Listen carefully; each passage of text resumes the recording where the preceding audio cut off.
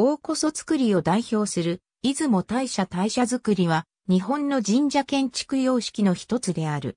須佐神社本殿出雲大社に代表される、大こそ作りは、伊勢神宮に代表される神明作りや住吉大社に代表される住吉作りとともに、最も古い神社建築様式とされる。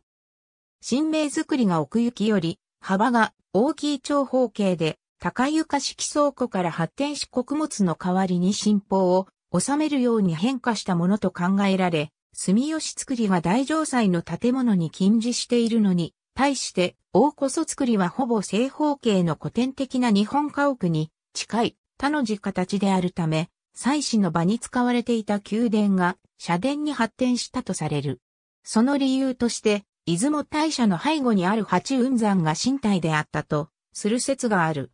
出雲大社の社殿に関しては、鎌倉時代より前の記録がないため、延教元年建立の原社殿が基本型とされる。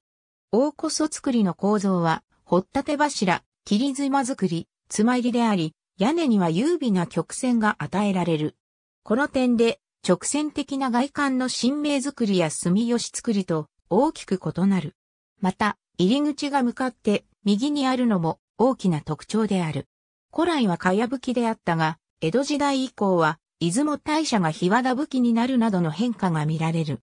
日本に仏教が伝来し、普及した頃神道では、寺院建築を瓦屋根と呼んだことから、神社建築においては、瓦屋根は好まれない。屋根を支える側面の破風は、掛け魚で修飾され優美な曲線を描く。これは、中国大陸文化の影響で、後世に変化したものとされる。屋根に耐久性の低い蚊や板を使うため、屋根の勾配をきつくして、雨や雪が流れ落ちやすくし、切り妻のため、軒でも大きく作る必要がある。地木、カツオギは就職目的で付けられている。古来は柱と地面の間には礎石も土台もなく掘ったて柱であったが、延教元年建立の出雲大社社殿は礎石の上に柱が建てられ、耐久性を高めている。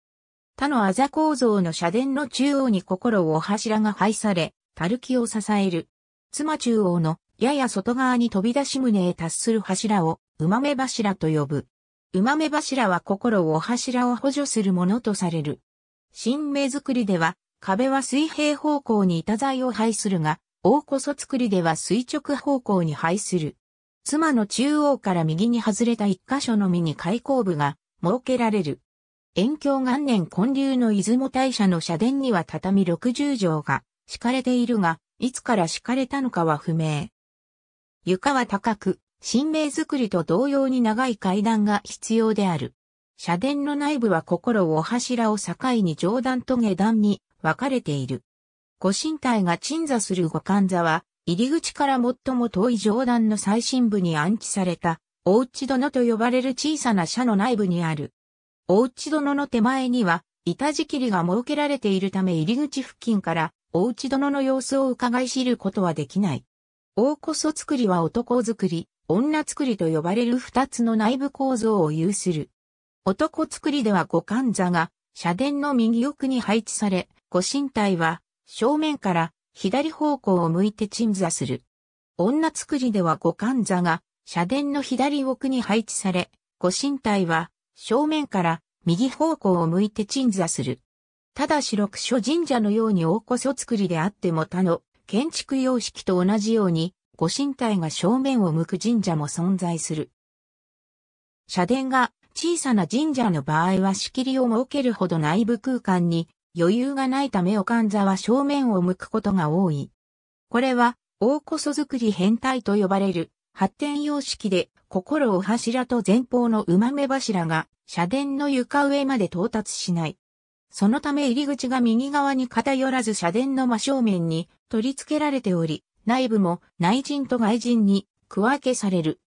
出雲地方に広く分布する小規模の神社はこの様式を採用していることが多い。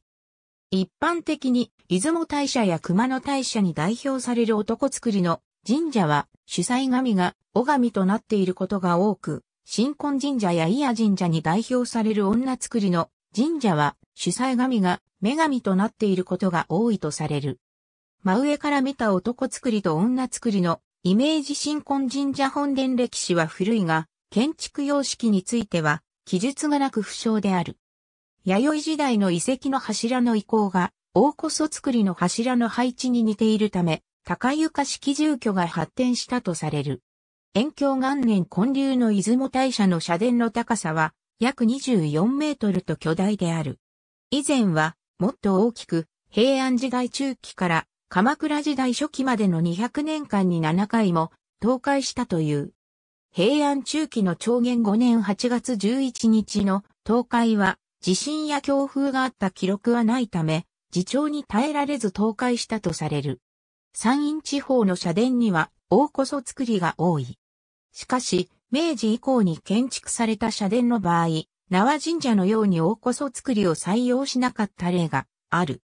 21世紀に現存する大こそ作りの社殿としては、山陰地方の島根県松江市、大場町にある新婚神社の本殿が室町時代の昌平元年で最古である。新婚神社本殿は大こそ作りの古式に則っった最古の建造物である。ため1952年3月に国宝に指定された。男作り女作り大こそ作り変態美穂作り全国歴史教育研究協議会、日本史 B 用語集、英兵器山川出版社、改訂版。ISBN 9兆7846億3401万3025。新婚神社優書書。ありがとうございます。